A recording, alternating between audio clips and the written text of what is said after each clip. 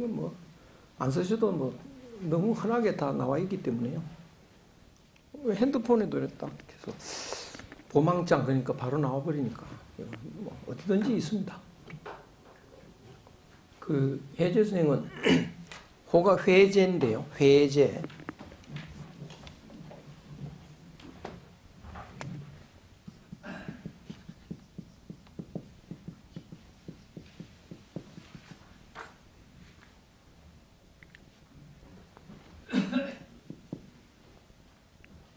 호가 회제 선생입니다. 왜 회제 선생인지 아십니까? 호가? 회암에서 맞습니다. 주자가 호가 회암이거든요. 회암 이 회자에다가 암자 이랬으나요? 회암. 그러니까 이 주자 담고 싶어서 회제라고 했습니다. 회자 들어가는 사람 또 있습니다. 저 안향 선생. 안향 선생은 회헌입니다. 회헌. 거기도 주자를 담고 싶다. 그래서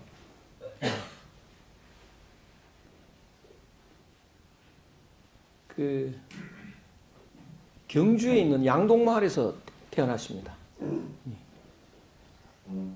거기가 처가 동네입니다. 왜 처가에서 외갓집이죠, 그러니까? 아버지 처가니까 자기 외갓집에서 납니다. 왜 외가에서 날까요? 조선시대는 그 맞이는 거의 다 외가에서 나옵니다. 왜, 왜 그런지 아십니까? 결혼한 뒤에 그 1년간 그 처가살이를 합니다. 옛, 옛날에는 그 10년 정도 처가살이 했습니다. 10년간 뭐 온갖 고생을 다 하는 거죠. 월급도 못 받고. 그래서 아주 죽을 고생하고 뭐 그랬죠. 그래서 이제 자꾸 줄었다가 고려 때 3년, 조선시대 1년, 이렇게 1년간 처가살이 하니까 거기서 많이 납니다. 그 양동마을의 전설처럼 큰 인물이 하나 난다고 그랬는데 회재성이 거기서 나버려가지고 거기는 손씨 말이거든요. 밀양손씨. 밀양손씨들 아주 낙담을 하고요. 우리 망했다 뭐 이러고 그런 이야기가 전해옵니다. 회재 선생. 그 철학의 출발 제가 이거를 이제 써놨는데요. 세월은 물과 같이 한 번 가면 돌아오지 않는다. 내 나이를 헤아려 보니 언 서른 살이 되었다. 그런데도 아직 공자처럼 학문에 자립하지 못해 중인의 차원을 벗어나지 못하고 있다. 이를 생각하니 밤이 다하도록 잠들 수가 없다. 종이 산사에서 울린다. 아마 제야의 종처럼 섣달 금음에 종을 치나 봅니다. 절에서. 신년을 알리는 소리다. 천년은 이미 변했고, 아, 천도는 이미 변했고, 때와 사물도 또한 변한다. 나는 하늘을 본받아 덕을 새롭게 하고, 구석을 씻어서 제거하며, 성인의 법을 한결같이 준수하여 경솔함을 바로잡고 나태함을 경계하여 남이 하나의 노력을 하면 나는 백의 노력을 하여 오래도록 힘써서 참된 본질을 쌓아 성인의 영역에 들어갈 것을 기대한다. 지금부터 40, 50이 되는 것도 얼마, 남, 얼마 남지 않았다. 눈 깜짝할 사이에 호련히 이를 이룰 것이다. 50에 이르도, 이르러도 도를 듣지 못한다면 그만이다. 가히 따를 수 있겠는가? 이게 무슨 소리냐면요. 서른 살이 되니까 이제 하룻밤 자면 서른 살이 됩니다. 29살 때 하룻밤 자면 서른이 된다. 서른 살이 되면 어떻게 되느냐? 공자는 서른 살에 입 자립했다고 돼 있습니다. 학문에 자립하고 얘도 스스로 실천할 수 있고 그렇게 된 거죠. 나는 어떠냐? 아닌 것 같거든요. 그, 그 회재 선생의 목표는 공자처럼 되는 것에 있습니다. 왜 공자처럼 돼야 될까요? 그 이유가 뭘까요?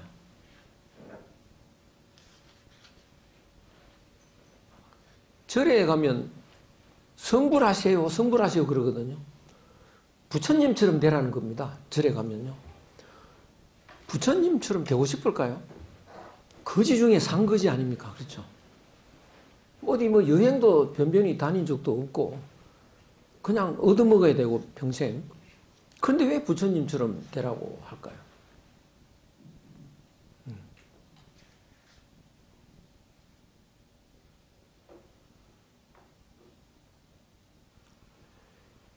그, 깨우치고 경지에 도달하는 예. 왜 깨우쳐야 될까요? 안 깨우치면 어떤데요? 깨우쳐야 될 이유가, 성인이 성인이 예. 왜 돼야 될지. 예.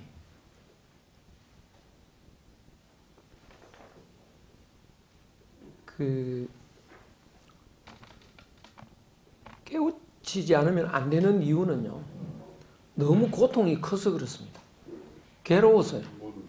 번뇌망상이 너무 많고 제일 뭐 제일 큰지는 않을지 몰라도 그 엄청난 고통이 죽음의 고통이죠. 늙어갈수록 뭐 어차피 피할 수 없다. 죽음이 눈앞에 다가온다. 뭐 이런 거를 실감하면 뼈저리 아주 몸서리치게 막 그 절망이 됩니다. 그 뭐 잠깐 사이 잠깐 지나니까 잠깐 사이에 그 불구덩 요새는 거의 이제 불 속으로 들어가는 거죠. 이 불구멍 속으로 들어간다. 끔찍한 예, 몸서리치죠 그거.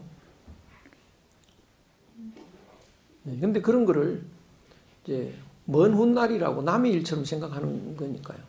그래서 견디는 건데 실제로 그거를 이렇게 실감이 되면 굉장히 인생이 처절합니다. 음.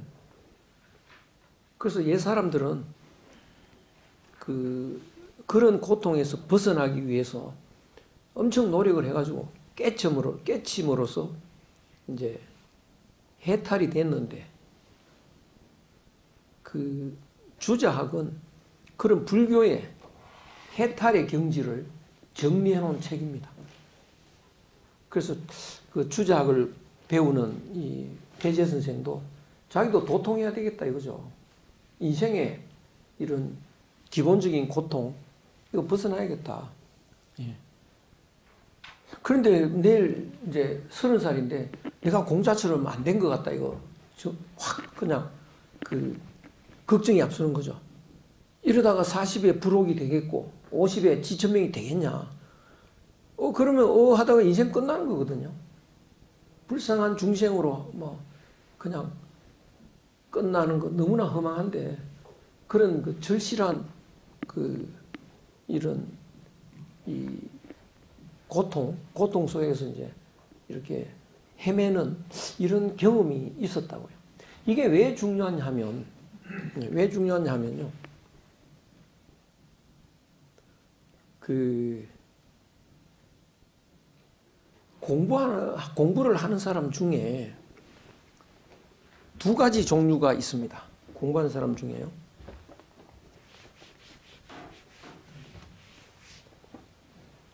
요새 이제 오늘날 일로 한번 생, 생각해 보죠. 대학교 왜 가느냐? 예.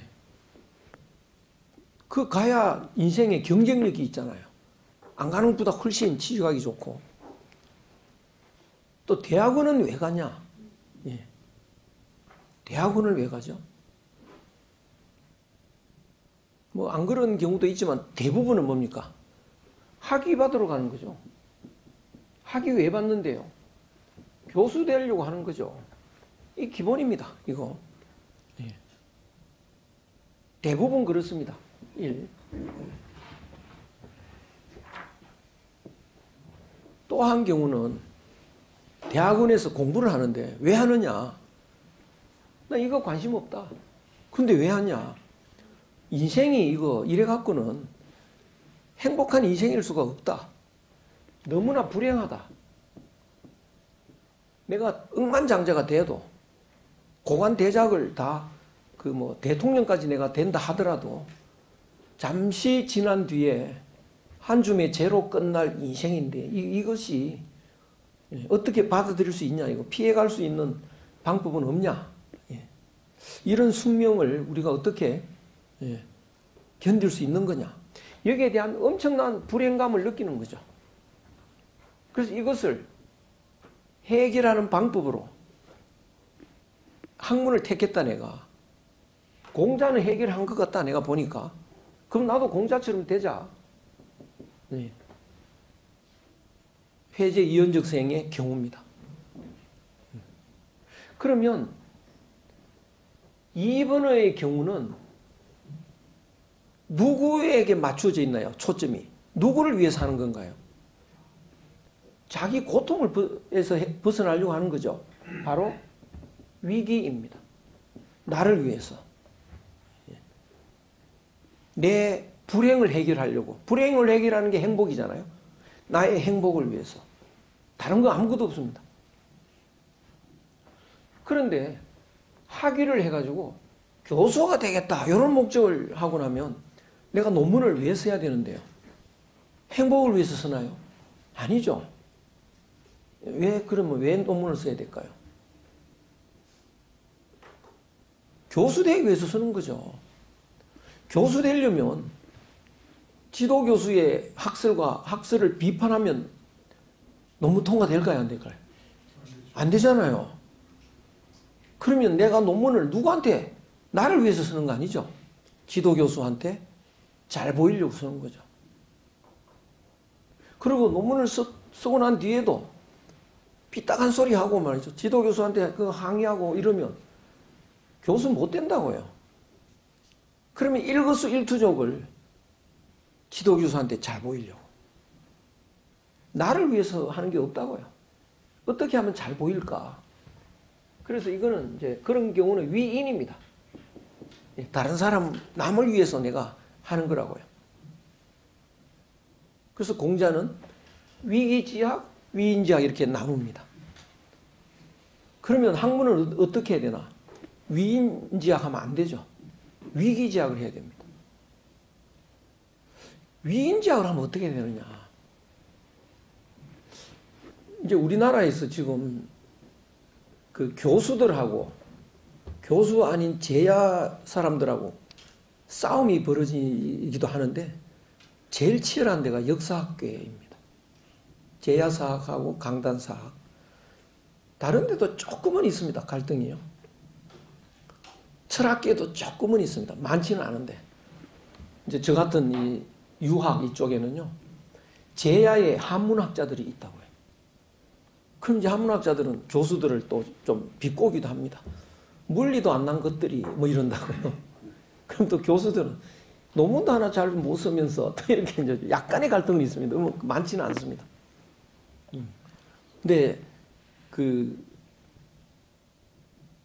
자연과학 이런 데는 별로 없다고요, 갈등이. 근데 유독 이제 역사학계에는 심한데 왜 그러냐면 그 1번의 1번이 목적이기 때문에 그런 문제가 생깁니다. 학문의 목적이요. 역사학에는 깨닫기 위해서 하는 사람은 없다고요. 뭐 덕도를 해야지. 뭐 공자처럼 돼야지. 이런 개념으로 하는 사람이 거의 없습니다. 아마 한 사람도 없을 겁니다. 그럼 왜 하냐? 학위 받아서 교수 되려고. 그럼 이제 교수가 되려면 지도교수 그 비판하면 안 되죠. 그렇죠. 근데 이제 기, 기존의 지도교수를 보니까 우리 태두가 이병도 박사인데 그 당시에 보면 독립운동 하느라고 응성하던 시대에 일본에 가서 훈련을 받았다고요. 그러니까 논문 쓰거나 학문을 이렇게 그, 저, 접근하는 그 방법이 매우 치밀하고 논리적이고 실정적이고 다른 사람은 뭐 그런 거 훈련을 안 받았으니까 굉장히 엉성하니까요. 비교가 안 됩니다. 완전히 이게 학문이다 싶을 정도로 그렇게 짜임새가 있는 건데 그분이 지도교수다. 감히 독보적이죠. 다른데 다른 사람하고 비교가 안 되고 최고입니다. 그 제자가 된 것만 해도 영광이죠. 그런데 보니까 그 이, 이론들이 다 긍정이 된다고요. 납득이 가, 가는 거죠. 그래서 그 이론을 가지고 모든 걸 봅니다. 사람이 그 빨간 색안경을 쓰고 보면 다 빨갛게 보인다고요. 좀 이렇게 삐딱한 사람이 지가 삐딱한 줄 모르고 있으면요. 다 삐딱해 보입니다. 다른 사람들이요. 그것처럼 어떤 특정한 이론에 갇혀서 그것만 계속 추종하다 보면 그것과 다른 이론은 다 이상하게 보이죠. 음. 그런데 이제 제야사학자라는 사람들이 한문 공부를 굉장히 많이 해버렸어요. 그러니까 뭐 25사 뭐 이런 데서 뭐 줄줄줄 깨가지고 보니까 강단사 학자들이 이게 말이 안 된다는 거죠. 학문적으로 뭐 치밀하니 이건 자치하고 저 한사군이 뭐 평양에 있었다 이러고 근데 이 그 그 저 한문 자료를 보면 다 저기 만주에 있었고 연영성에 있었고 이런 게 다 나타나 있는데 이게 말도 안 된다. 이래가지고 싸움이 일어나 버렸죠. 그 지금은 이제 치열하게 싸우고 있는데 그 왜 그렇게 됐을까? 바로 1번 때문입니다. 그러니까 제자들이 계속 그걸 못 벗어나는 이유가 목표가 이거니까 교수 돼야 되니까 열심히 그 속에서 그 연구를 하고 그 방식을 받아들이고 그러다 보니까 그 이론이 엉터리면 또 아니지만 엉터리 같지도 않고 굉장히 치밀하거든요. 최고의 이론으로 거기에 이제 완전히 거기에 이 몰입이 돼버리죠. 거기에 갇혀버리죠. 그런데다가 교수 되기 위해서 공부하는 사람은 교수 되면 끝이야. 도달했으니까 됐잖아요. 한문 공부 안 합니다. 왜 안 해? 안 해도 먹고 사는데 뭐 합니까? 그죠? 다급해야 하죠. 안 한다고요. 근데 제야 있는 사람은 한문을 엄청나게 아니까 온갖 자료를 보니까 그거 아니거든요. 뭐 고조선도 틀렸고 고조선은 부정합니다. 당구는 없었다.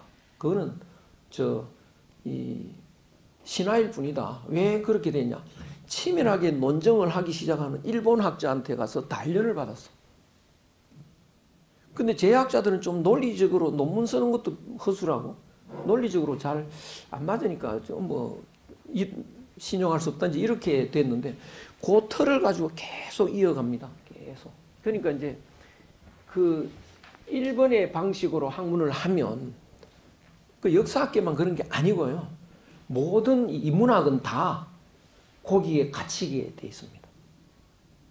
주작을 한다 그러면 주작에 갇히죠. 왜냐? 내 선배가 선생이 다 주자학자잖아요. 내가 절에 왔다 갔다 하면 난 잘립니다. 그거. 그 문화에서요. 내가 절에 왜 갑니까? 내가 좀 이런 불행을 극복하려고. 이거는 내한테 아예 없는데 뭐. 대부분 다 그렇죠. 예. 요새 야 그 생사 고락을 해서 한번 벗어나 보겠다. 좀 미친 소리 한다. 아니 안 죽는 사람 어디 있어? 누구나 다 죽지. 이게 요새의 판단이거든요. 음. 사람은 누구나 죽는다. 이거는 별, 변함없는 진실이다. 근데 뭐 안 죽는 연구를 한다? 좀 미친 사람이잖아. 이런다고요. 그래서 오늘날 학문에는 그런 소리 하는 사람은 용납하지 않습니다. 미친 소리죠. 그래서 그 학교 학문의 장에서 뭐 예수의 영생론을 이야기한다. 그러면 그거는 쫓겨나는 겁니다. 네. 뭐 불교의 해탈론 그거 안 되고요. 기독교 뭐 이런 것도 안 되고요. 공자 이야기도 안 되고 이렇습니다. 왜? 다 비과학적이다. 있을 수 없는 이야기 한다. 이렇게 딱 학문이 그 딱 짜여져 있습니다. 그러니까 2번이 아예 없는 거죠. 그래서 2번이 이게 참된 인간 되는 학문인데 오늘날은 참된 인간 되는 학문은 없다. 이렇게 학문에는 아예 없습니다. 그러다 보니까 거의 전부 다 이것이 목적이다 보니까 그 스승의 학문 틀에 갇혀서 못 벗어나고 있으니까 그대로 이어받고 있는 거죠. 그래서 치열하게 싸우고 있습니다. 지금 치열하게. 그래서 제가 쭉 보니까 단군을 부정했는데 단군을 부정할 수 없는 사실이 너무나 막 많아지니까요. 요새는 조금 바뀌었습니다. 당구는 인정해야 되겠다. 이제 안 할 수가 없는 상태까지 왔는데요. 아직도 안 하는 사람 안 하고 이러는데. 근데 최근에 이제 까지 좀 인정하는 분위기로 바뀌었는데 환단고기는 계속 부정을 합니다. 뭐 이런 상태죠 지금. 근데 그 이 오늘날 사학계만 이제 그런 것이 아니고요. 이거는 아주 옛날부터 지금까지 있어 온 공통의 문제점인데요. 위인지학을 하느냐, 위기지학을 하느냐. 그래서 여기서 보면 딱 이걸 보는 순간 아 이현적 선생은 위기지학이구나 바로 알 수 있습니다. 그러면 위기지학 하는 사람은 그 다음에 어떤 일이 일어날지 환히 압니다. 정치에 뛰어들어서 한 자리 하려고 치열하게 싸우진 않겠구나. 하더라도 한정한데 뭐 외, 외직 이런 거 하면서 학문을 계속 하겠구나. 대충 그건 뭐 보이는 거죠. 음. 그리고 남하고 싸우고 그런 것도 안 하겠구나. 예. 그런 틀, 그런 이제 방식으로 가게 돼 있습니다. 그런데 그런 사람은 뭐 꼭 주자뿐만 아니라 자기가 진리를 얻을 수 있다고 판단되면 뭐든지 쫓아갑니다. 음. 목적이 주작이 목적이 아니고 진리가 목적이니까. 근데 주작을 해서 내가 출세해야겠다. 그러면 선생이 주작자다. 그럼 주작을 내가 더 열심히 하게, 하겠습니다. 여러분 잘 보이잖아요. 그러니까 잘 보일, 선생한테 잘 보일 그런 짓만 하지. 무슨 자기의 뭐 이런 학문적 갈증 이런 건 없다고 해요. 음. 그래서 그 이게 굉장히 중요하다 이거요. 출발점, 학문의 출발점이 굉장히 중요하다. 예. 일전에 한겨레 신문에 그 조현 기자라고 있는데 상당히 뛰어난 기자인데요. 제가 인터뷰를 해가지고 한겨레에 한, 한 면이 다 나왔는데 그분이 K 정신 이래가지고 이제 K 컬처가 아니고 K 정신, 한국 정신이 뭐냐. 그래서 나이 든 사람들 이렇게 시리즈로 이제 그 인터뷰해가지고 이렇게 싣고 있는데 그게 젊은 사람이 그거를 이제 비판하는 글을 이만큼 실었더라고요. 그 조영 기자한테 연락 와서 한번 봐라. 그래서 세 사람이 이제 그걸 했는데 다 비판을 했더라고요 보니까. 저도 물론 비판을 했고 뭐 그런데 뭐 환단고기 이야기가 있으니까 세상이 다 아는 그 가짜를 갖다가 그걸 뭐 인용하고 뭐 말이 안 된다 뭐 이런 식으로 했는데 그런 글을 왜 실을까요? 그 사람은 아주 젊은 사람인데 자기가 정확하게 정확하게 차, 살펴본 건 하나도 없어 그냥 이렇게 맹목적으로 이렇게 실었다. 그래야 그 학계의 선배 선생 지도교수한테 점수를 따죠. 그럼 아직은 교수 자리 들어가 있지는 않은데 기회가 오는 거죠. 잘 보이기 위한 하나의 수단이라고 해요. 거기에 모든 초점이 맞춰져 있습니다. 그 옛날도 똑같습니다. 그래서 그 학문을 왜 하느냐? 1번은 말이죠. 오늘은 학위 교수지 옛날은 뭐냐? 입신 출세입니다. 과거 시험 봐서 관직을 하고 출세하고 영의정까지 가고 이 목적으로 하니까요. 그 학문을 한다 그러면 일, 제일 목적은 과거 시험 합격을 위해서 하는 거고 그 다음 목적은 입신 출세하는 거고 요게 돼 있습니다. 그러다 보니까 인생에 철학적인 고뇌 이런 건 없습니다. 그러니까 이거는 철학이 아닌 거죠. 인간 되기 위한 뭐 인격을 둬야 한다 이게 전혀 없습니다. 그래서 1번의 1번의 방식으로 학문을 하는 사람하고 2번의 방식으로 학문하는 사람하고 그 정권을 잡으면 누가 잡을 것 같습니까? 1번하고 2번 중에 1번이 잡죠. 그래서 나라 망치는 겁니다. 2번이 잡았으면 괜찮은데요. 그래서 2번으로 철저하게 가는 사람이 회재 선생, 퇴계 선생 이렇게 간다고요. 네. 그래서 이건 굉장히 중요한데요. 요 1번이냐 2번이냐 이거를 자세히 보려면 그 철학의 출발에서 이런 대목이 딱 나왔다 그러면 이건 이원이라고 봐야 됩니다. 그러고 보면 쭉 풀립니다. 음. 왜 주자를 좋아했을까? 주자가 바로 불교식으로 말하면 해탈을 한 사람이고 해탈을 했다는 해탈하는 철학이 들어있으니까 아 주자가 좋다. 그래서 이제 회제라고 했는데요. 운물을 아 그 그, 거기서 보면 이제 그런 내용들입니다. 예, 앞에 그, 이 제가 읽은 내용이에요. 운물을 파는데 세, 샘에 미치지 못한다면 아홉 끼를 판들 이로움이 없다. 아무리 많이 파도 물 안 나오면 헛일이죠. 학문은 아무리 많이 해도 득도 하지, 득도 하지 못하면 헛일이죠. 1번은 아닙니다. 과거 시험 되면 됐습니다. 제가 아는 사람들 중에도 딱 교수 되는 순간요. 나는 이제 인생의 목적을 도, 도, 목적에 도달했다. 이런 사람들이 꽤 있어요. 그러면 그 다음에 무슨 짓 할까요? 이제 누려야 되잖아요. 목적 달성했으니까. 누리려면 어떻게 해야 누릴 수 있나요? 누리려면. 이제 학생 상대로 갑질하는 거죠. 그게 누리는 겁니다. 딱 꼭 결정이 돼 있다고. 그래서 아니 철학과 철학과 교수인데 철학이 없네. 이제 학생들이 들어보면요. 2번이 출발점이 아니면 철학이 없죠. 그럼 그 이론은 뭐냐? 머리로 외우고 있습니다. 1다 1은 2다 이런 식으로. 이발 기발 이것도 다 외워놓고요. 그건 하나의 공식처럼 해놨죠. 그런데 거기에 제자가 왜 있냐요? 왜 있냐고요? 제자가. 엄청 따분할 텐데. 요거 되기 위해서 제자가 붙어 있는 거죠. 그러니까 자기는 요거 되기 위해서 공부를 했으니까 학생한테도 너 이렇게 해야 교수 될 수 있어. 이런 소리를 수시로 한다고요. 학생들 줄 서죠. 근데 2번을 가지고 하다가 교수 된 사람은 그런 소리 안 하거든요.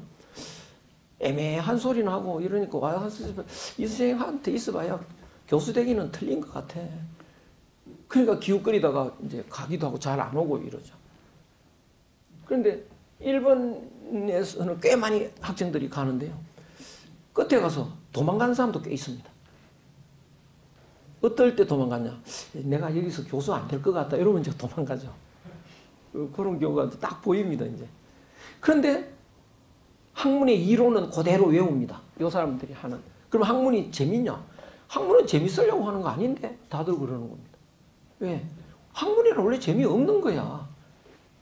교수 되려니까 해야지 뭐. 그렇게 하니까 또 다들 또 납득을 한다고요. 그, 그 그룹에서는요. 이렇게 갈라집니다. 굉장히 중요합니다. 그래서 이런 조선시대 학자들도 이렇게 보시면 요 그분의 그요 처음에 목적이 뭔지를 보시고 그리고 이제 이런 그 학문의 내용 같은 거 몇 마디 안 읽어보면 금방 드러납니다. 어떤 내용인지. 그래서 이거는 학문을 아무리 해도 시험 이런 건 관계없고 득도 하지 못하면 헛일이다. 그 소리입니다. 아무리 아홉 개를 파도 물이 안 나오면 헛일이다. 학문을 하면서 성인이 될 것을 희구하지 않는다면 그것은 자기가 자기를 포기하는 거다. 그러니까 학문을 안 해도 성인 안 되면 헛일이지 뭐. 예. 근데 그 1번으로 하는 학자들은요. 성인 된다 그러면 미쳤냐 이런다. 그럽니다. 무슨 학문을 해가지고 무슨 성인이냐. 너 2000년 전의 사람이냐? 뭐 이런 식으로요. 목적이 다르니까. 완전히 다르죠. 그래서 이 2번의 방법으로 그 학문을 하면 목적은 반드시 성인입니다. 왜? 그게 해탈인데 뭐. 이렇게 갈라지죠. 그래서 여기서는 성인이 안 되면 이거는 자기를 포기하는 거다. 왜냐? 사람은 원래 다 도를 가지고 태어났습니다. 진리의 모습으로 태어났습니다. 진리가 뭘까요? 진리. 진리의, 진리의 기준은 어디에 있다고 생각하느냐면요. 자연입니다. 자연. 자연이 도고, 자연이 인이고, 이렇게 돼 있습니다. 자연이 신입니다. 그러면 그 도에 도에서 보면 현재의 상태에서 보면요. 짐승이 도에서 가까울까요? 사람이 가까울까요? 예? 자연에 가까운 게 진리에 가까운 거거든요. 도에 가까운 거거든요. 그러면 짐승이 가까울까요? 사람이 가까울까요? 짐승이 가깝죠. 사람이 짐승 따라가려면 한참 가야 됩니다. 짐승은 성폭행도 안 하고요. 자연 훼손 안 하고요. 인간이 없었으면 지구가 이렇게 안 되죠. 짐승이 훨씬 진리에 가깝다고요. 자연은 생명력이 있습니다.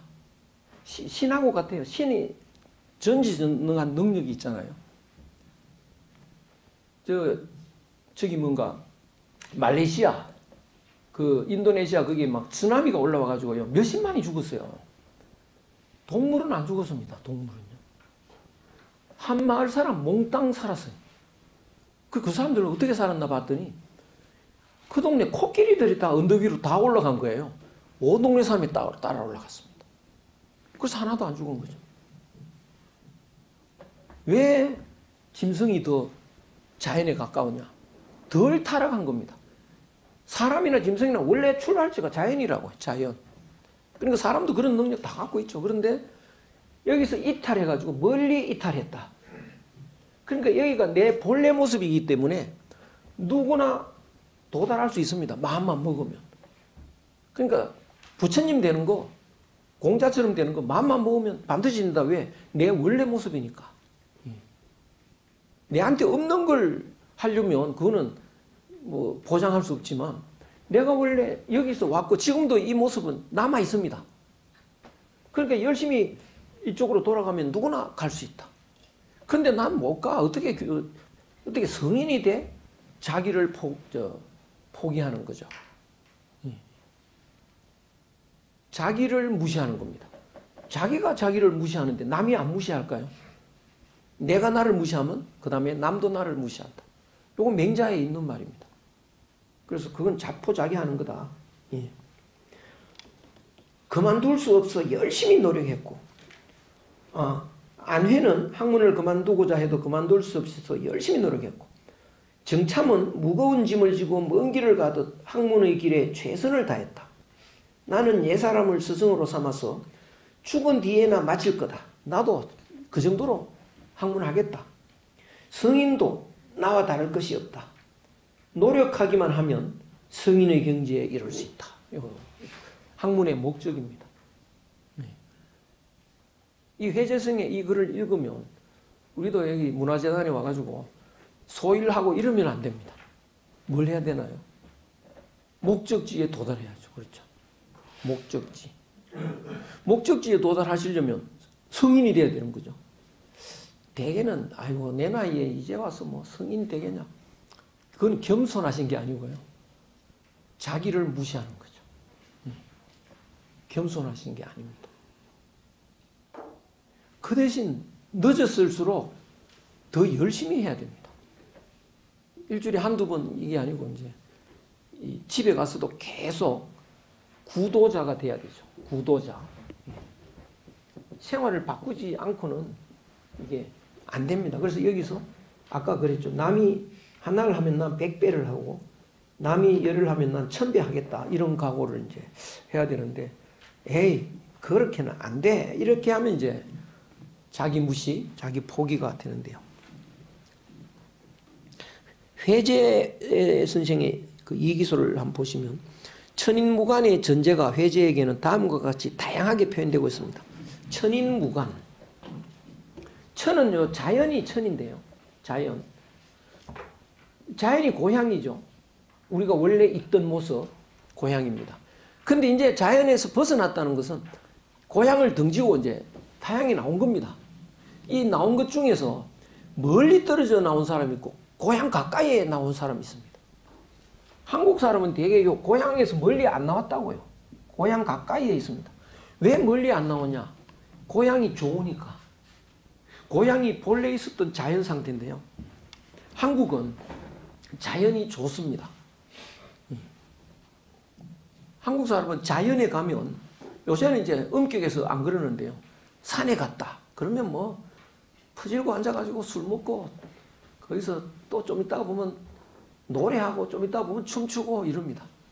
고향에 온 즐거움이 거기서 폭발하는 거죠. 예.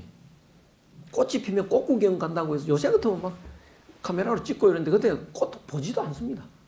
거기서 춤추고 노래하고 술 먹고 뛰놀죠. 내가 자연이 돼버렸다.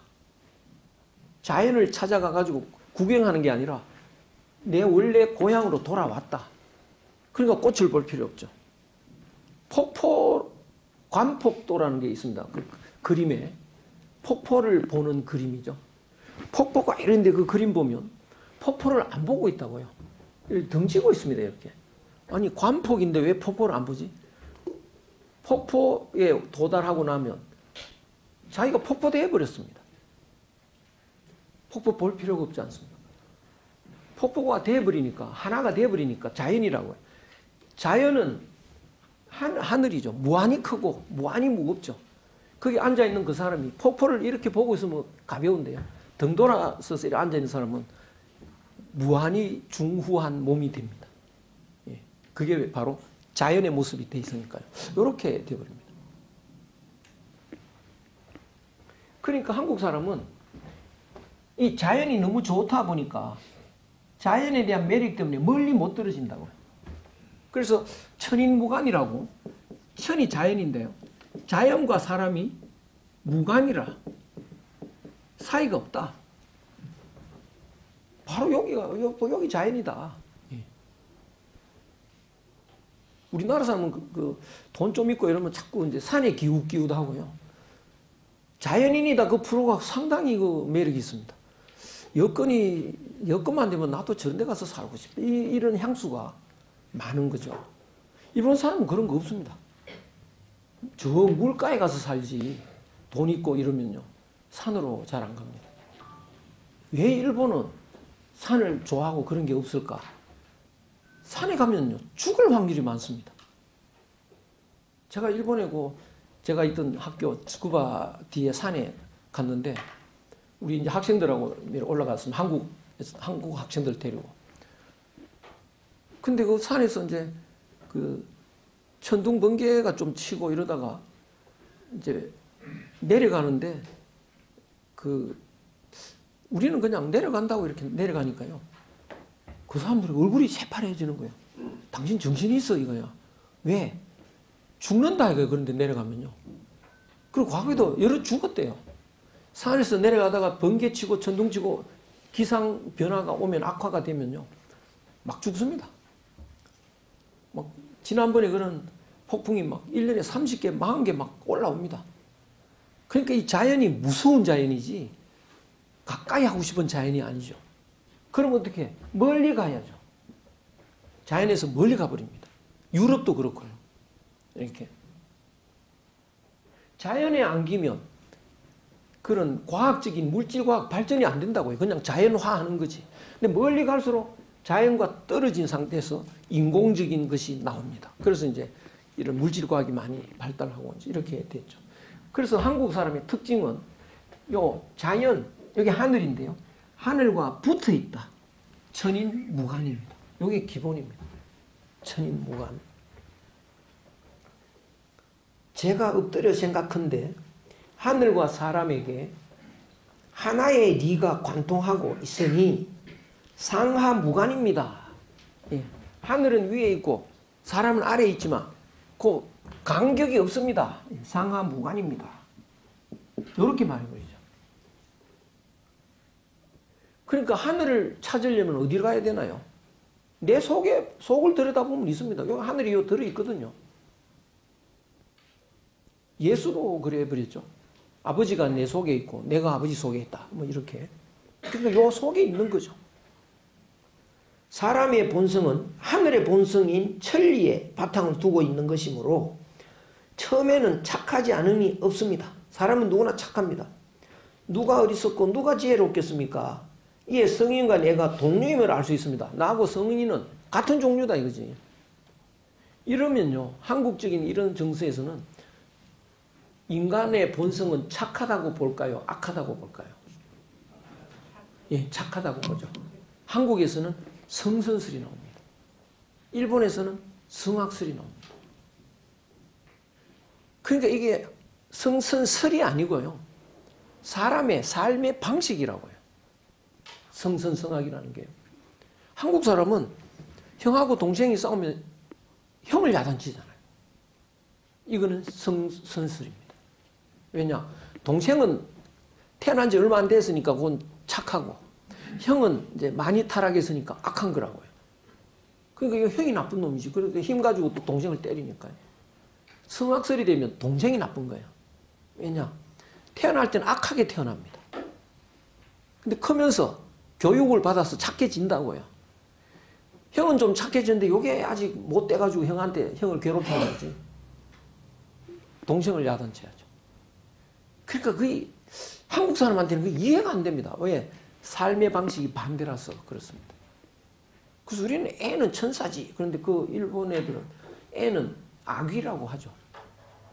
예, 악귀, 굶주린 귀신. 아, 일본말로 각기라는데 각기, 각기 그럽니다. 이렇게 달라지죠. 그러니까 여기서는 모든 사람이 성인하고 같은 종류다. 예. 중국의 성리학에서 중시한 니는 지극히 높고 묘한 우주 만물의 본질이지만 회제는 그 리가 자기에게 있다는 것을 알기 때문에 니는 지극히 가깝고 지극히 확실하다. 여기 있는데 뭐. 예. 이게 한국인의 특징이죠.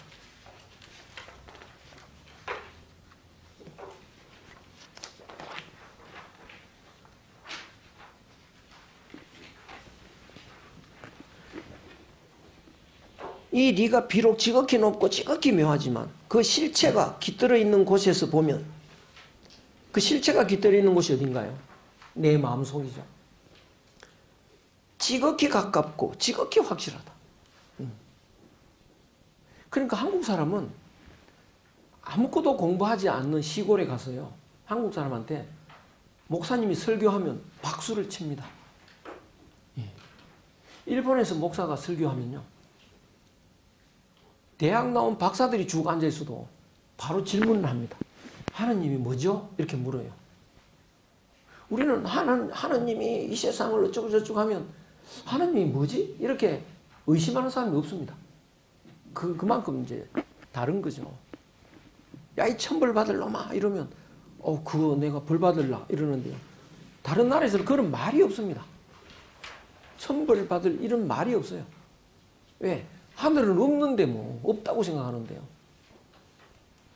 그렇게 다르죠. 그래서 이, 이 회제 보면 하늘의 이치가 지극히 먼 것 같아도 너무 가깝다. 왜? 내 마음속에 여기 있지 않냐. 너무 가깝다. 너무 확실하다. 들여다보면 되는데 뭐. 그러니까 그런 정서가 있으니까요. 시골 할머니도 다 마음속에 하늘이라는 것이 들어 있습니다. 그래서 한국 사람은 내가 이러면 안 되지 이런 게 있다고요. 자기가 하늘 하늘이 있으니까 하늘이 나를 가만 안 둘 거야. 그리고 사람한테도 사람이 그러면 안 되지 뭐 이런 게 있습니다. 그게 바로 이런 절대적인 요소가 우리한테 다 있는데 그걸 무시하면 안 되지 이런 건데요. 그래서 아무리 안 해도 그건 안 해야 돼 이런 게 있는데요. 다른 나라에는 그거 없습니다. 극악한 일도 해냅니다. 다른 나라 사람들은요. 그 차이가 굉장히 크죠. 대저 도는 다만 사람의 앞에 놓여 있는 일 따릅니다. 도가 어디 멀리 가서 찾지 마라. 요 앞에 요 요거 도가 있잖아. 예. 사람의 일을 떠나서 도를 구하면 공허한 데를 밟지 않을 수 없으니 사람의 문제를 떠나서 도 찾으러 다니면 그거는 허망하다. 사람한테 다 들었는데 뭐. 그러니까 멀리 찾아다닐 것도 없습니다. 뭐 우리나라 사람들도 도를 구한다고 명상한다고 히말라야 산 가고 그런데 그럴 필요 없습니다. 내 마음속에 있는데 그 뭐 멀리까지 갑니까? 그죠? 우리 유학에서 말하는 실제적인 학문이 아니다. 그 사람의 일을 떠나서 도를 구하는 것은요. 실제적인 게 아니다. 시경에 이르기를 하늘에 무, 하늘이 무백성을 낳았으니 모든 것에는 각각의 본질이 있다라고 했다. 시경에도 있지 않냐. 모든 것은 하늘에 낳은 거다. 그러니까 모든 것에는 하늘 마음이 다 있다. 모든 것이란 사람의 일이고 본질이란 모든 것이란 사람의 일이고 이제 회제가 말하는요. 본질이란 뭐냐? 하늘의 마음이다. 사람은 하늘과 땅 사이에 있으면서 모든 것과 역행하여 홀로 쓸 수 없는 것이다. 하늘과 땅 사이에 있으면서요. 하늘과 땅과 하나가 돼서 사는 거지. 역행할 수는 없다. 어찌 아래에서부터 배워 실제 힘쓰는 것에 우선하지 않고 그러니까 하늘의 도를 배우려면 멀리 가지 말고 여기 사람 사는 여기에 있다. 그래서 유학의 이게 큰, 큰 장점이요. 그 가정을 떠나지 않고요. 사람 사는 가장 눈앞에서 모여 딱 집착 어, 압축되어 있는 게 가정이거든요. 가정을 떠나지 않고 거기서 진리를 찾습니다. 그 중용의 군자지도 조단호 부부. 군자의 도는 부부에서 시작한다. 부부가 가정 안에 있다. 그러면 이제 이게 뭐냐. 대개 이제 부부 간에 갈등이 있고 싸움하는 사람들이 있거든요. 그러면 그것을 감사해야 됩니다. 예컨대 내 부인이 순종형이고 싸울 일이 없다. 그건 행복은 할지 몰라도 덕도하기가 어려워집니다. 예. 그 부인은 말만 하면 잔소리고 시시건건 시비고 이러면 이제 반성을 해야죠. 내가 왜 요 모양이 됐지? 왜 부인한테 맨날 잔소리 듣지? 내가 부처님 되면 이런 잔소리는 안 들어도 되겠지? 그럼 어떻게 돼, 될까요? 부인의 잔소리에서 깨달음이 온다고요. 아, 내가 부처님 돼야지. 내가 아주 형편없는 인간이잖아. 그러면 이제 그 부부싸움 하다가 덕도할 각오를 하게 됩니다. 음. 다른 데 가서 도구할 필요 없다고요. 그래서 부부 사이에 그 부인한테 존경받는다는 건 굉장히 어렵습니다, 사실은요. 그러니까 부인한테 존경받으면 그건 득도한 겁니다, 이미. 그렇죠. 그러니까 거기서 도 닦으면 된다고요. 그 득도를 딴 데 가서 할 필요 없죠. 그러니까 가정 안에서 하자고요. 그래서 군자의 도는 부부 사이에서 하는 거다. 굉장히 좋은 그 방법이죠. 그래서 그, 이, 우리 여기 성천 선생님 계시잖아요. 저기, 어, 유달영 선생님. 그때 제가 사무실에서 뵈니까 한번 그 말 들었습니다. 이렇게.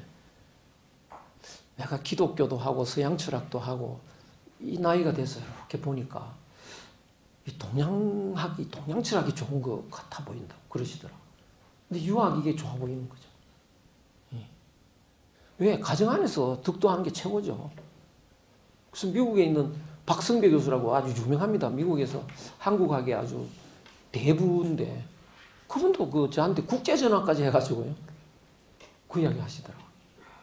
내가 대중 강연을 하면서 오늘 대중 강연 했는데 내가 뭐라고 했는지 알겠어? 어, 뭐, 모르겠습니다. 무슨 소리 하셨습니까? 앞으로는 유학의 진리로 사는 게 좋겠다. 그 말을 하셨다. 평생을 불교하신 분인데 그 왜 무슨 의미였습니까? 이랬더니 가정을 떠나서 진리를 구한다는 게 별로 허황된 것 같다는 거예요. 가정에 있으면서 진리를 구하자. 그러면 가정이 뭐로 바뀝니까? 가정이 교회죠. 도 닦는 장소니까. 그래서 가정을 교회당으로 생각하자. 이렇게 마음을 바꾸면요. 가정이 굉장히 귀해지죠. 거기서 내 모든 걸 이루자. 이렇게 되니까. 가정의 중요성입니다.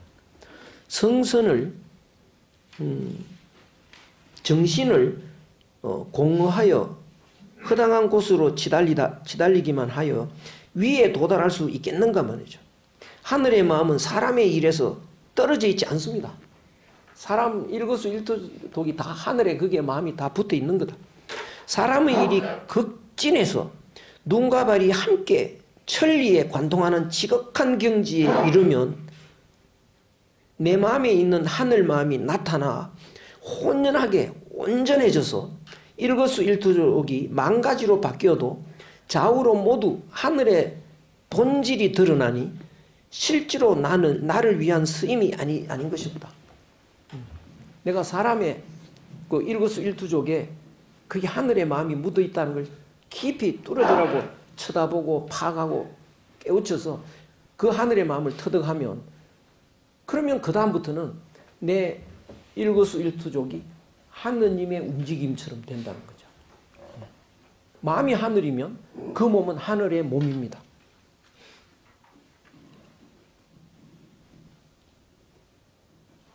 그런데 그 그러다 보니까 그러다 보니까요. 어떤 것이 걸리느냐 하면 주자는 이 하늘이라고 하는 것, 고향이라고 하는 것 여기서요. 멀리 떨어져 있는 사람입니다. 오늘날 저 유럽인, 일본인 다 그런 경우인데 그럼 여기서는 고향이 어디죠? 이러면 모르겠다 이렇게 말합니다. 너무 머니까요. 여기 있는 사람은 저거잖아 이렇게 말하거든요. 여기 고향 가까이 있는 사람은요. 그 일본에는 그 천국이 너무 멀어서 그런지 극락이 너무 멀어서 그런지 지명에 극락이라는 지명이 있더라고요. 그 여기 또 극락역이 있습니다. 거기 가서 극락이 어디요? 이렇게 물으면 다들 답하더라고. 여기요. 이렇게 말해요. 그거는 말이 좀 안 되는 건데 하여간 멀리 떨어져 있으니까 엉뚱한 데다가 이제 지명이라도 이렇게 써놓는다고요. 음. 그래서 여기서는 그 하늘 마음이 뭐야? 당신 속, 당신 마음속을 들여다봐라. 그 하늘만 보이잖아. 거기 들어있잖아. 안 보이는데요? 이렇게 말한다고요. 모르겠다는 거죠. 그러면 어떻게 하늘 마음을 회복하나요? 어떻게? 어떻게 해야 하늘 마음을 회복할 수 있을까? 그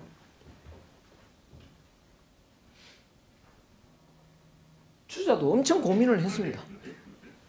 이게 하늘 마음을 회복해야 내가 하늘처럼 되고 하늘 마음이 여기 있다고 하는데 뭐 도저히 모르겠는데 그걸 알아야 그 마음을 붙잡을 수 있고 하늘 마음을 붙잡으면 자꾸 그걸 확대시켜서 내 마음에 채우면 내가 하늘이 되는 거고 그것이 영생이고 뭐 이렇게 되는데요. 도대체 알 수가 없잖아요. 그럼 어떻게 고민거리가 되죠? 그러면 하늘 마음을 어떻게 하면 알 수 있을까? 내 마음을 들여다봐도 모르겠다고 하는데 실제로 모르겠는데요. 그러면 어떻게 하면 되느냐? 이 모든 사람, 모든 동식물, 모든 물체는 하늘의 모습이고 하늘이 만든 겁니다. 그러니까 모든 것에는 하늘에 만들었으니까 하늘의 요소가 여기 들어있다고요. 그래야 말이 되죠. 하늘이 만들었으니까. 그러면 이게 들어있다면 요 하늘의 마음은 다 똑같은 거 아닌가요? 그래서 이제 조사를 하기 시작합니다. 하늘 마음을 알기 위해서요. 그것이 경물입니다. 다른 것에 가보자. 격, 물, 물은 다른 겁니다. 다른 것에, 격은 간다는 거예요. 다가가자. 다른 것에 다가가서 이렇게 조사를 해보자. 또 다른 것에 가서 또 조사를 해보자. 공통점이 있나 없나? 공통점이 있나 없나? 개구리를 조사해보니까 밤새 개구리더라. 그 원인이 이유가 뭐냐? 어, 연애하는 거더라. 그걸 하나하나 알았습니다. 이치를. 뻐꾸기가 밤새 뻐꾹뻐꾹 그런다. 그 이치가 뭐냐? 이유가 뭐냐? 또 그 연애하는 거다. 매미가 종일 맴매만다. 이유가 뭐냐? 연애하는 거다. 계속 계속 조사를 해보니까 공, 공통점이라는 거죠. 공통점이라고 하는 것은 하나라는 거죠. 하나는 하늘 마음이죠. 그런데 내가 백, 백 가지를 조사했더니 백 가지가 다 연애하더라. 근데 백한 가지도 연애한다는 보장이 있나요? 또 조사해야죠. 그러면 만 가지를 조사했더니 다 연애하더라. 그럼 만 한 번째는 그 연애하는지 안 하는지 그걸 확답할 수 없죠. 확인할 수 없잖아요. 또 해봐야 되잖아요. 그럼 죽을 때까지 해도 다 못합니다. 그러면 하늘 마음을 알기는 영영 없- 없는 건가? 이제 이런 고민에 빠졌죠. 주자가요. 그래서 내 마음 속에 있는 하늘 마음을 내가 알 수가 없으니 다른 데 가서 찾아보자. 그랬더니 공통점이 확실히 있다. 근데 이게 모두가 그런지 알 수가 없지 않냐. 이렇게 되는 거죠. 논리적으로 그렇죠. 여기서 공을 떨어뜨리면요. 반발해서 튀어오르는데 얼마만큼 튀어오르냐? 3분의 2 튀어오릅니다. 그건 그 다음에 또 3분의 2 튀어오르겠죠. 이 공은 언제까지 튀어오를까요? 언제까지? 영원히 튀어오릅니다. 왜? 이게 1m면 1m의 3분의 2, 3분의 2 계속 곱하기 해도 0은 안 되죠. 그러니까 계속 튀어오르는 거죠.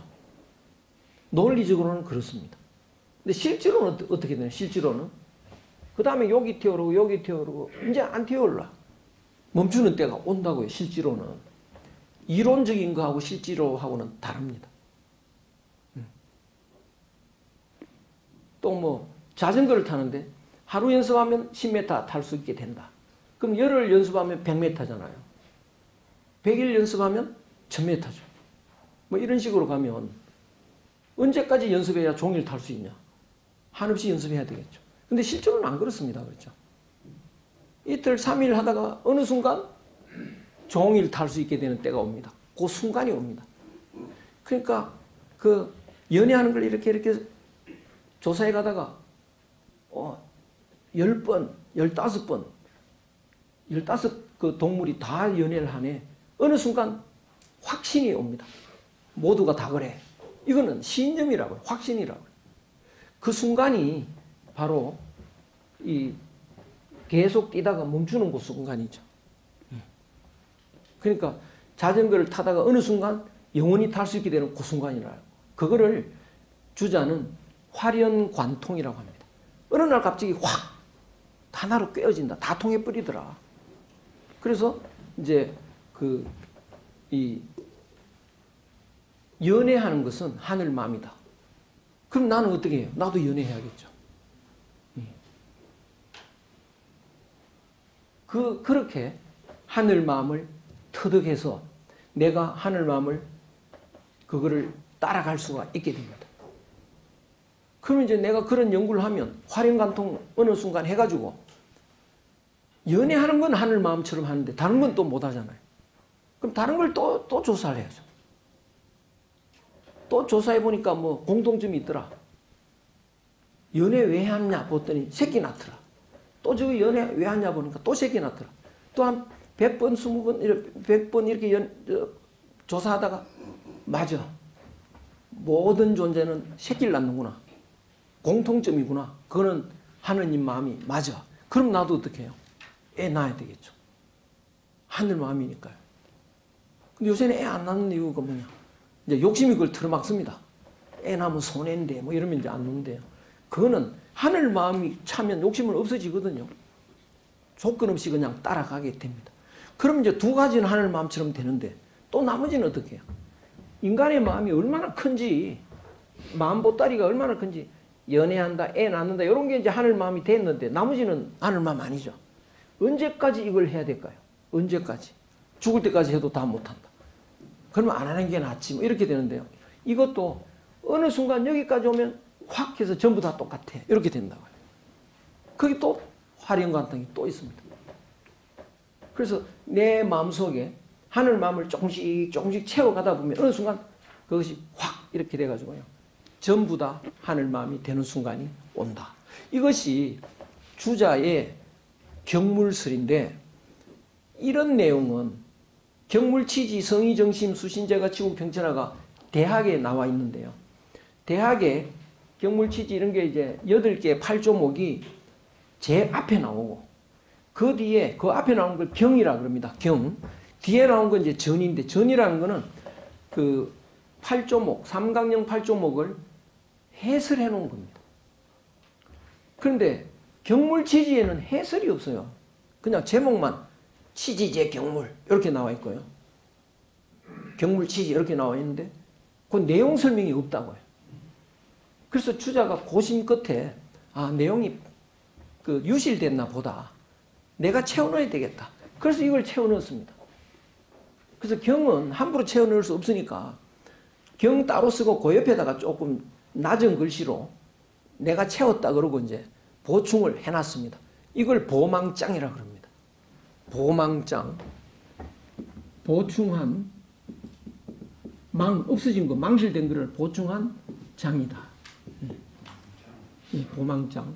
이걸 또 경물 보전 이렇게도 말합니다. 경물에 대한 전인데 경물 보전. 예. 전은 이제 그 경물에 대한, 경물에 대한 해설인데 그 해설이 없어가지고 보, 보, 경물에 대해서 보완한 해설이다 이래서 경물 보전 이렇게도 말하는데 이건 뭐 아까도 저 핸드폰 차니까 바로 나오더라고요. 보망장 이러니까 원문이. 그래서 이것이 주자 이기론의 꽃 중에 꽃입니다. 핵심 중에 핵심인 거예요. 그래서 좀 이거는 회제 글이 아니기 때문에 좀 빨리 한번 읽어보죠. 이른바 치지제 경물 지혜를 이룬다. 지혜를 이룬다는 게 뭐냐? 하늘의 마음을 아는 겁니다. 그게. 지혜를 이룬다는 게 하늘의 마음을 이루는 거. 그것이 이제 그 지를 이룬다는 건데 하늘의 마음을 아는 상태를 이룬다. 그것은 어떻게 해야 되느냐? 경물에 있다. 다른 물체에 다가가서 연구하는 데 있다. 연구하면 알게 된다. 은, 그 무엇을 말하느냐? 욕치 오지지, 나의 지, 지혜를 이루려고 하면, 네, 이루려고 하면, 어디에 있는, 어디로 가야 되느냐? 물에 다가가서, 다른 것에 다가가서, 거기에 있는 리를 궁구하는 데 있다. 예. 제가 뭐, 세면새, 개구리면 개구리, 다른 데 가서, 그들이 그렇게 행동하는 게 무슨 이냐? 무슨 하늘의 마음이냐? 그거를 알면 된다. 그거죠. 대체로 사람 마음에 신령하면 사람 마음은 신통합니다. 막불유지 알미 있지 않음이 없어. 사람의 마음에는 알 수 있는 능력이 있다. 천하 만물은 막불유, 막불유리 천하의 모든 만물은요. 리를 가지고 있지 않은 게 없습니다. 왜? 다 하늘이 만들었으니까 하늘 마음이 다 들어있다는 거죠. 그것이 리입니다. 리. 오직 리에 대해서 사람이 유미궁 그걸 궁구하지 않았기 때문에 기지유부지냐 그 지혜가 다하지 않음이 있다. 예. 뭐 뻐꾸기 개구리 이걸 다 이렇게 그게 다 그게 리가 다 있는데 그거를 끝까지 추궁해 보면 아 내가 알게 되는데 그걸 안 했기 때문에 지가 부족하다. 그래서 대학에 처음 가르칠 때 반드시 학자를 하여금 학자한테 말이죠. 뭘 하게 하느냐 학자한테 경물이 제일 먼저니까 경물을 하게 하는데 저 물어 천하 만물에 다가갔어. 천하 만물을 살펴봐라 이거죠. 다가가서 막불 인기 이지질이 그 이미 알고 있는 리치가 있다. 사람은 이미 리치, 이치를 좀 알기 때문에 지금까지 살아왔습니다. 이미 그, 그 만물에 대해서 살아가는 이치가 있는데 그걸 바탕으로 해가지고 그거로 인해서 더욱 궁구해 갑니다. 음. 자꾸 찾아보는 거죠. 이구, 지어, 기거. 그래서 그 끝까지, 그건 끝입니다. 그걸 끝까지, 끝에 이르, 이르도록 구합니다. 예. 모든 걸 다 알 수 있는 데까지 이른다. 그것을 이제 그렇게 그 대학에서 그 끝까지 이르도록 구하게 하는 겁니다. 예, 끝까지 하면 연구해라 이렇게요.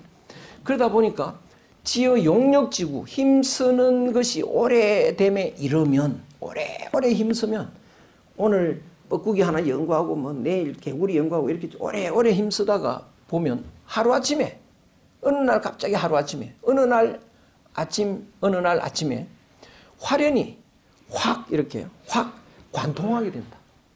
그렇게 되면 모든 사물의 표리정조, 겉과 속, 정밀한 것과 엉성한 것, 이런 이치, 예. 그 속과 그 모든 뭐 만물의 외형적인 이치, 속에 있는 속뜻, 또 정밀한 그 삶의 방식, 대충 살아가는 그 외형적인 모습 이런 것 전체가 예. 무불도 내한테 도달하지 않는 게 없어. 그리고 첫 보면 다 알게 된다는 거죠. 활용간통하고 나면 뭐 잘 몰랐던 지렁이 아 그건 저래서 저래 지렁이가 왜 저렇게 움직이나요? 그 이유가 다 그 살려고 하는데 저렇게 해야 살아 뭐 이런 식으로 다 보입니다. 두더지는 왜 땅속을 파야 돼? 그래야 그건 살 수 있다. 뭐 이런 식으로. 그래서 그 이런 이치를 이제 연구를 많이 하는 사람이 그 한의사들인데요. 한의사. 그 한의사는 제가 좀 용한 한의사고 이렇게 산을 가보니까 이렇게 열매 같은 거 보니까 어, 딱 보더니 아, 이 열매는 씨다. 안 봐도 알더라고요. 입에 넣어보니까 씨, 씨더라고요. 또 처음 보는 열매라도요. 지금 쓰다. 맞죠? 그건 이제 상당히 꿰뚫은 겁니다. 이 그런 생리 같은 거에 대해서요. 저거는 달 거야. 뭐 이런 식으로. 그래서 그 모양, 뭐 또 색깔 뭐 등등을 통해서 그 맛의 그런 걸 다 이제 관통을 한 거죠. 그 그분은요. 오신지 전체 대용, 내 마음의 전체 모습, 내 마음의 전체 큰 작용. 내 마음은 무한 무한히 크고요. 전체니까 거기에는 오만 작용이 다 나옵니다. 그래서 인간은 전지전능한 능력이 마음속에 있다는 거죠.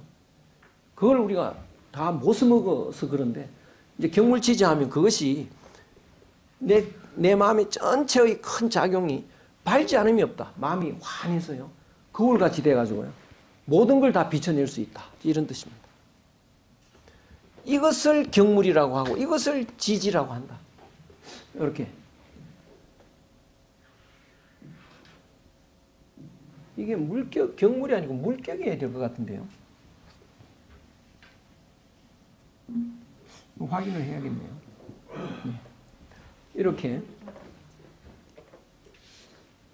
이거는 그 주저하게 그 제일 중시되는 이론이 이기설이고요. 이기설의 꽃이 이 부분입니다. 왜 이것이 중요하냐? 내가 득도하려고 하니까 하늘처럼 되려고 하니까 내 마음속에 하늘 마음이 뭔지 모르겠다. 그래서 이제 외부에서 찾아서 그거를 그 하늘 마음을 아는 활용관통의 방법인데 회제가 보니까 외부에서 조사 안 해도 내 마음속에 딱 들여다보니까 알겠다는 거예요. 한국인은 거의 다 그럴 겁니다. 양심이 뭔지 알아? 한국 사람들은 다 압니다. 뭐 양심이 보이잖아요. 근데 외국 사람은요, 양심이 안 보입니다. 그러니까 양심이라는 말이 아예 없습니다. 예. 의리라는 말도 없고요. 그러니까 우리가 일본인하고 이제 막 성질 부리고 할 때는 양심도 없는 놈이 말이야. 뭐 이러면 그 사람들은 무슨 소리 하는지 몰라요. 양심 없는 사람한테 양심도 없는 놈이 그러면 못 알아듣잖아요. 그렇죠? 양심 있는 사람한테 양심, 양심 불량하고 이러면 이제 성질 내겠죠. 그러니까 우리나라 사람한테 양심이 있는지 없는지 아는 사람 다 알죠. 뭐. 자기 마음 들여다보면 알잖아요. 그러면 이거 할 필요 있을까요? 없을까요? 이거 필요 없잖아요. 자기 마음 들여다보면 되지 뭐. 저 바깥에 나가서 뭐 조사할 필요 없잖아요. 너무 놀라운 것이요. 주작의 핵심 중의 핵심인데 이거를 그 주자를 담겠다고 하는 회재성이 지워버립니다. 이거 필요 없다. 굉장히 놀라운 거죠. 깜짝 놀랄 일입니다. 이거. 그래서 뭐 회재하고 퇴계선행은 주자만 따라갔다. 그런 평가를 하죠. 특히 율곡 쪽에서 그런 비판을 하는데요. 천만의 말씀이죠. 핵심을 지우는데 어떻게 주자를 주자만 따라간 겁니까? 아니죠. 굉장히 한국적입니다. 그래서 그 주자가 가장 중요한 이거를 그 없애버렸는데 없애버린 대신에 이 자기 마음을 들여다보고 자기 마음에 양심이 있는데 하늘 마음이 있는데 이것이 밖으로 나오는지 안 나오는지를 들여다보면요 나오다가 자꾸 딴 데로 딴 길로 가는 게 보입니다. 자기 마음을 계속 이렇게 들여다보면요 그 누가 누구한테 좋은 일이 있다. 아, 그거 잘 됐네. 이러다가 그게 잘 됐네. 그러다가 지만 잘 되냐? 이러면서 이제 딴 길로 가거든요. 그러면 또 배가 아파집니다. 우리가 뭐 이렇게 먹을 게 있으면 반 잘라서 이렇게 주거든요. 이렇게 주면 곧 잘라서 주고 싶은 마음이 이게 그 마음이 양심에서 나오는 겁니다. 하늘 마음은 우리 하나니까 주는데 주다가 곧 어제 지, 지는 지 혼자 먹자, 먹었잖아 지고 딱 이러면서 안 줘. 이런다고요. 그게 딱 자기 마음을 들여다보면 그게 읽혀지지 않습니까? 그래서 그걸 보고 이제 아 내가 왜 하늘 마음을 놓치는지 이유를 알았다. 내가 요 하늘 마음이 나오다가 내가 딴 계산을 한다. 자꾸 자꾸 이런 이기적인 계산을 하다 보니까 이게 자꾸 밖으로 흩어진다. 그럼 어떻게 하면 되느냐? 계산을 안 하고 붙, 붙들고 늘어지자. 처음에 주고 싶어 한 마음이 생겼으면 아무 생각 없이 앞뒤 그 재지 않고 그냥 주자. 예. 우리들한테 저도 그런 거 있거든요. 이렇게 지는 내한테 어떻게 했는데 내가 지한테 뭐 하려고 뭐 이런 것도 있고요. 뭐 경조사 이런 데도 그렇고요. 뭐 이런 게 있는데 그런 생각을 하지 말자. 그런 게 딱 이제 그럴 때마다 이게 아 나한테도 그런 거 이기적인 계산이 있구나. 그러면 그거 하지 말지 뭐 그냥 하면 되지 뭘 그걸 가지고 지는 내한테 어땠다는 둥뭐 이런 생각하지 말자. 그 상황이 어 그래 하자 뭐 이런 식으로 그런 것이 이제 그 뭐냐 그런 것이 경입니다. 경. 그 내 본래 하늘 마음이 그 비뚤어지는 그 순간에 그때 이기적인 생각이 꿈틀하거든요. 그거를 붙잡아 버리는 거죠. 그때 이기적인 생각이 안 일어나게. 예. 그거를 뭐 어, 남명생은 뭐 칼을 들고 다녔는데 실제로 요 칼을 차고 다녔습니다. 그때 꿈틀하면 그놈을 그냥 칼로 잘라버렸는데 실제로 자르진 않죠. 마음으로. 요 칼은 차고 다니면서요. 아, 요놈이 또 이기적인 그게 욕, 욕심 덩어리거든요. 이기적인 욕심이 머리를 이렇게 내고 있네. 잘라라. 이렇게요. 그런 식으로 하는데 이거를 경공부라고 하기도 하고요. 경공부. 그러니까 이런 이기론을 지워버린 대신에 경공부에 더 집중을 합니다. 그러니까 한국인의 수양 철학은 경 하나에다가 집중해서 그걸 이제 밀고 가는 이런 특, 특징이 있습니다. 그래서 이기로는 그 국리인데요. 경물 취지는 국리라고 하죠. 국리. 그래서 공부에는 두 가지가 있다. 국리가 있고 거경이 있다.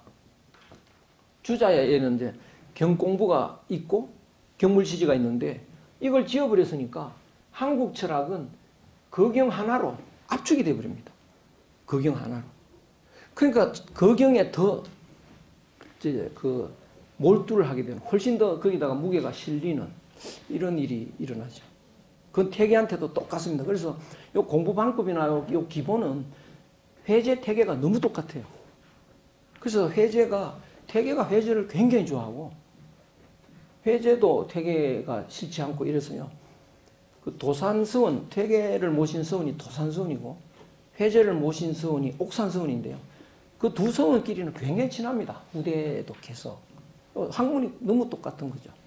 그래서 경중심의 수양 철학이 굉장히 발달합니다. 그 다음에 이제 정치사상, 이것도 조금 써놨는데요. 이건 한번 읽어보시고, 그 정치사상은 뭐냐. 공부가 완성된 사람이 다른 사람도 하늘 마음을 가지도록 나서는 것이 그게 정치입니다.